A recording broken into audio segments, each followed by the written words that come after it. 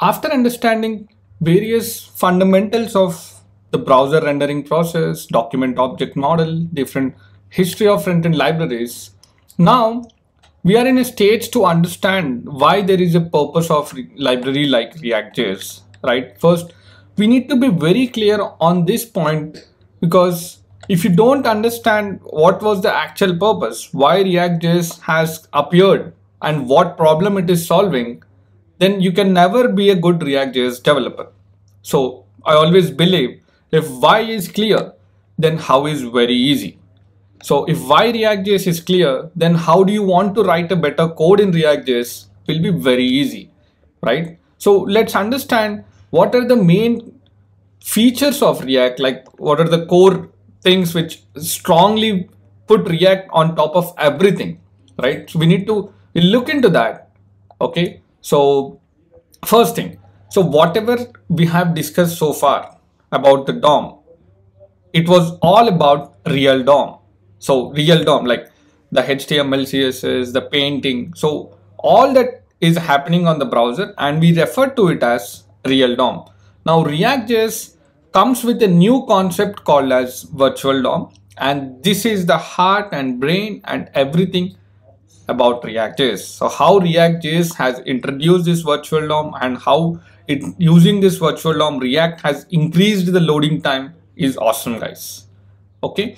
Also one of the difficult problem which every front-end developer used to face back then is development speed. So let's say I want two web pages and both the web pages have almost the same content. So what they have to do is ideally they have to copy the code control C and control V. So there, there is no way you use the perform use the code from one file in another file when you're writing the code in HTML or CSS. Now why is this affecting the development speed? Just imagine two pages is fine. Now you have reached to a point where you are using hundreds of web pages. Now you want to change the style of one common element. How do you do? Or you want to change the content. Maybe you want to change the uh, company name. Maybe you want to put it in a different way, the tagline, etc. Now, literally, you have to go change in those all 100 files. You need to verify those all 100 files. So the development speed was a very negative factor when you're developing in HTML or CSS. Now using react React.js, the development speed is pretty fast. Now you're not focusing on the development speed, you're actually focusing on what needs to be focused. That is the speed, the performance of the website and also the stability. So it's not just you, you load your website in a couple of seconds or maybe less than a second, but the website is not stable at all.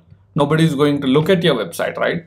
it should be stable it should not be lagging so when i say stable i i'm, I'm not lagging or I, I don't feel any dizziness in the website right? And interactive interface. So it should be very quick. Like if i click a button it shouldn't take a couple of minutes or couple of seconds. Even i'm not interested in waiting couple of seconds also.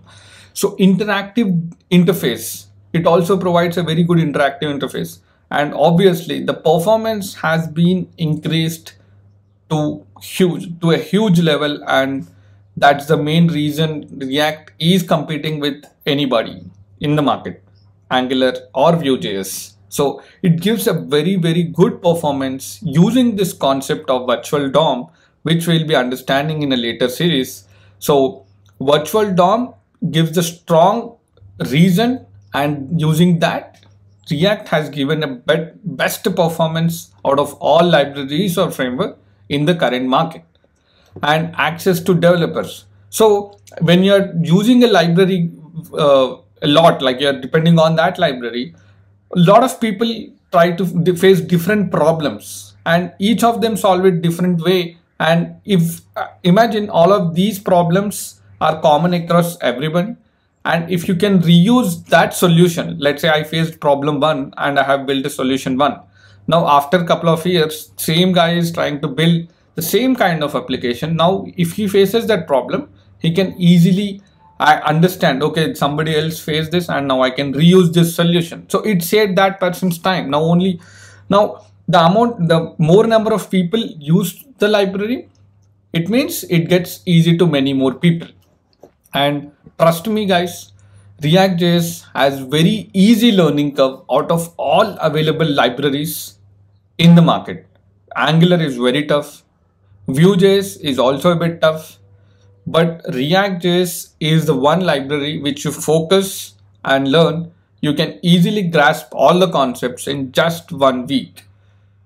Simple to use, simple to learn, very, that is the biggest advantage right? And it has a lot of alternatives for everything. Like if you want to display carousel if you want to use uh, css framework like not bootstrap exactly. Now we have evolved to material ui react strap etc so we have a lot of other libraries for routing etc state management right and the flexible development is always the good thing now you can easily split your work because you can develop header and somebody else can develop footer now you just have to import it and the last thing is SEO friendly. So most client side rendering uh, frameworks or libraries are not really SEO friendly. So what is SEO?